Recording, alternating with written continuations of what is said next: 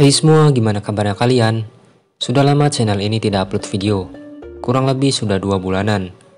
Maka dari itu, dalam kesempatan kali ini, kita bakal membahas alur cerita dari film Shoot In yang keluar pada bulan Februari kemarin. Gimana keseruannya? Langsung saja kita ke pembahasan.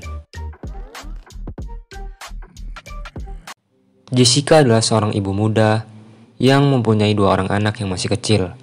Lainey yang masih balita, dan Mason yang masih bayi. Dia baru saja selesai rehabilitasi setelah sempat kecanduan narkoba.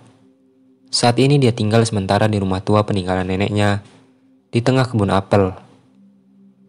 Pagi itu seperti biasa, Lainey kecil bermain sendirian, mencari apel yang jatuh dari pohon dan membawanya pulang untuk ibunya.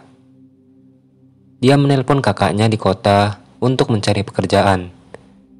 Kakaknya menyuruhnya datang dan melakukan tes narkoba terlebih dahulu. Meski dia sudah menjelaskan kalau dia sudah bersih sejak rehabilitasi, dia pun berencana berangkat malamnya dan mulai bersiap. Dia membuka pintu dapur dan mengganjalnya dengan batu bata agar pintunya tidak menutup. Kenop pintu itu sudah rusak sehingga hanya bisa dibuka dari luar. Itu pun harus menggunakan tenaga yang cukup kuat. Dia lalu mengambil persediaan makanan di dapur dan membawanya ke mobil sebagai bekal perjalanan. Saat dia kembali untuk mengambil makanan yang tersisa, dia menaruh perhatiannya pada salib yang terpasang di tembok dapur. Sialnya, dia meletakkan batu bata sebagai ganjal pintu dengan kurang sempurna, sehingga pintunya menutup sendiri dan dia terkurung di dalam. Jessica berusaha membukanya dengan paksa, namun tidak berhasil. Dia kemudian memanggil Leni untuk membukanya. Leni datang dan mencoba memutar kenop kecilnya, tapi tidak mampu. Jessica kemudian menyuruhnya untuk mengambil obeng di kotak peralatan yang sebelumnya dia taruh di teras.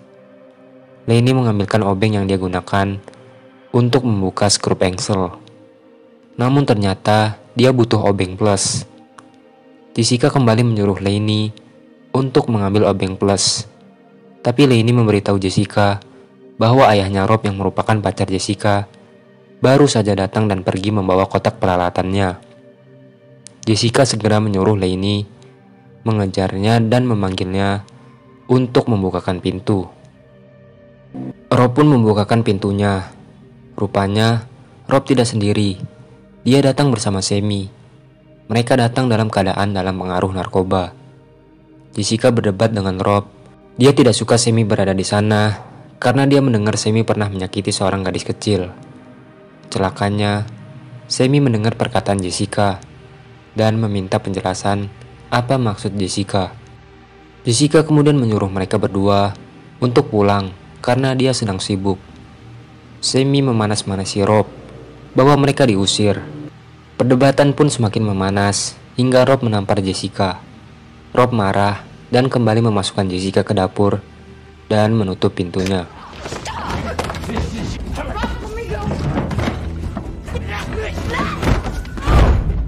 Jessica meminta maaf dan memohon-mohon untuk membukakan pintunya.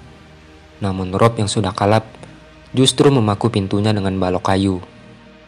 Tangan Jessica yang saat itu sedang menempel di pintu bagian dalam tanpa sengaja terkena paku Rob.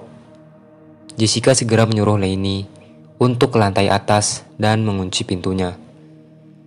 Dari luar, Rob menyuruh Jessica untuk berpikir dan memberinya satu paket sabu lewat celah di bawah pintu. Dia kemudian pergi dari rumah itu bersama Semi. Sepeninggal Rob, Lainey kembali turun ke lantai bawah. Jessica menanyakan keadaan Mason. Yang dijawab Lainey bahwa dia sedang tidur. Jessica kemudian menyuruh Lainey untuk mencarikan dompet dan ponselnya. Namun Lainey tidak menemukannya. Lainey merengek agar ibunya segera keluar karena dia ingin buang air kecil yang akhirnya dia mengompol di depan pintu dapur. Lainey menangis meminta ibunya tidak memarahinya. Jessica mencari-cari sesuatu di lemari dapur yang mungkin bisa dia manfaatkan. Dia menemukan Alkitab yang dibungkus plastik. Leni mengeluh lapar, tapi semua makanan yang sudah dimasukkan ke dalam mobil dan kunci mobilnya berada di dalam dompet Jessica yang hilang. Jessica memberinya selai apel yang masih tersisa di dapur melalui celah di bawah pintu. Jessica kemudian menyuruh Lenny mencari benda apa saja yang bisa dia gunakan. Akhirnya Lenny memberikan obeng yang tertinggal. Jessica menggunakan obeng tersebut untuk membobol lantai. Namun tangannya yang terluka menghambatnya. Tiba-tiba Lenny mengatakan bahwa ada orang yang datang. Orang yang tadi bersama ayahnya, yaitu Semi. Jessica pun segera menyuruhnya ke kamar dan mengunci pintunya. Semi mendatangi Jessica dan mengatakan bahwa dia akan menemui Lainey. Jessica memohon agar Semi tidak melakukannya. Lalu dia menawarkan sabu yang diberikan Rob pada Semi. Semi pun tertarik. Dia menyuruh Jessica memberikannya lewat celah bawah. Namun Jessica beralasan bahwa dia tidak bisa bergerak. Jadi Semi harus mengulurkan tangannya ke dalam. Saat Semi mengulurkan tangannya, Jessica langsung menusuk telapak tangannya dengan obeng dan memakunya ke lantai menggunakan batu bata pengganjal pintu. Semi berteriak kesakitan dengan penuh amarah.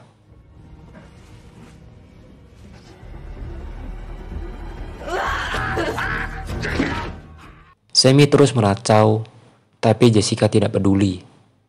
Dia melanjutkan membobol lantai dengan tutup kaleng selai. Tiba-tiba terjadi badai dan listrik padam. Lainey yang berada di kamar atas ketakutan dan turun. Jessica yang mendengarnya meneriakinya agar kembali. Namun terlambat, Semi meraihnya dan mengancam akan mematahkan kaki Lainey. Jika Jessica tidak segera mencabut obengnya, bukan yang mencabutnya, Jessica malah menyiramkan minyak ke tangan Semi dan membakarnya.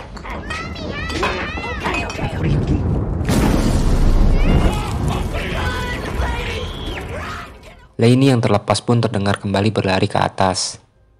Setelah Lainey selamat, Jessica memadamkan apinya. Jessica pun mulai putus asa. Dia bermaksud memakai sabu dari Rob.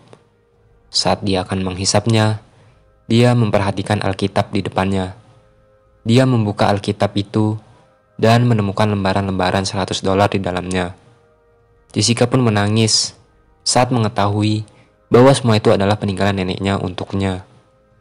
Namun kemudian dia berteriak bahwa semua itu kini tak ada gunanya dan melemparkan Alkitabnya ke arah salib dinding. Saat dia memungut patung kecil Yesus di lantai, tetesan air jatuh ke arahnya. Dia mendongak ke atas dan menyadari bahwa tetesan itu berasal dari kamar mandi di lantai atas. Jessica mencoba membobol lantai atas yang ternyata lumayan lapuk karena air. Dia kemudian mencabut obeng di tangan Semi yang sedang tak sadarkan diri. Dia berhasil naik ke atas dan mendobrak kamar. Dia pun lega menemukan Leni tertidur di bawah selimut sambil memeluk adiknya.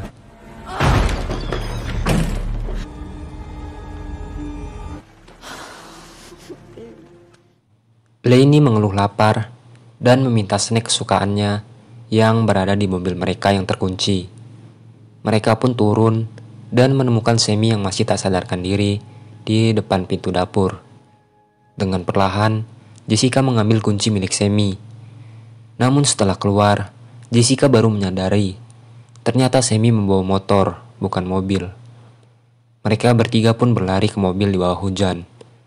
Jessica memecahkan kaca mobilnya dan mengambil makanannya. Namun snack kesukaan Lenny jatuh tercecer. Lalu Jessica kembali sendiri untuk mengambil snacknya. Saat dia kembali, dia tidak menemukan Lenny dan Mason. Dia berteriak dan berlari ke lantai atas, menemukan Semi menyandera mereka.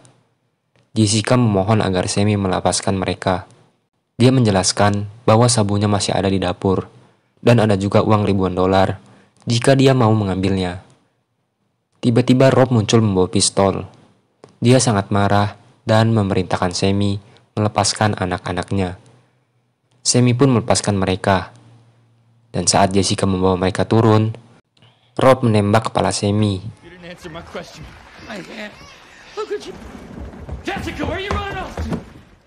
Rob turun dan menanyakan soal uang itu. Dia kemudian mendobrak pintu dapur dan menemukan uangnya. Rob kemudian mengajak Jessica untuk kembali bernostalgia, mengkonsumsi narkoba. Dia membawa putau. Jessica pun terpaksa menyetujuinya, tapi dia harus membuatkan anaknya makanan. Jessica juga membuatkan roti lapis dengan selai apel untuk Rob. Sebelumnya dia sudah mencampur selainya dengan sabu. Selesai makan, Rob menyuntikkan putaunya ke dirinya sendiri dan menyuruh Jessica juga melakukannya. Jessica tidak bisa melakukannya dengan beralasan tangannya terluka. Rob meletakkan pistolnya dan akan menyuntikannya ke Jessica. Jessica mendorong Rob dan mencoba meraih pistolnya. Tapi Rob lebih cepat dia kemudian memukul Jessica dan memaksanya untuk segera menyuntik sendiri. Tiba-tiba Rob terhuyung-huyung dan Jessica kabur ke lantai atas. Rob berhasil mengejarnya. Namun saat dia akan menyuntikannya, dia kembali terhuyung-huyung. Jessica memukul dan menjatuhkannya. Dia mengatakan Rob sudah overdosis akibat sabunya. Rob mencoba bangkit berpegangan kusen jendela. Namun Jessica segera mendorongnya hingga jatuh keluar.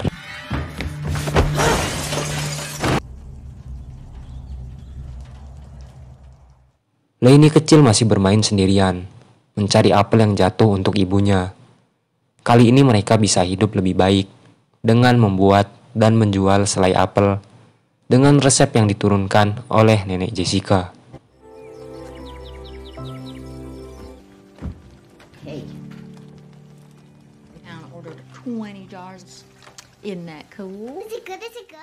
Jadi itulah pembahasan seru dari film Shoot In. Apakah kalian tertarik untuk menontonnya? Jangan lupa like, komen, dan subscribe. Sampai jumpa di video selanjutnya.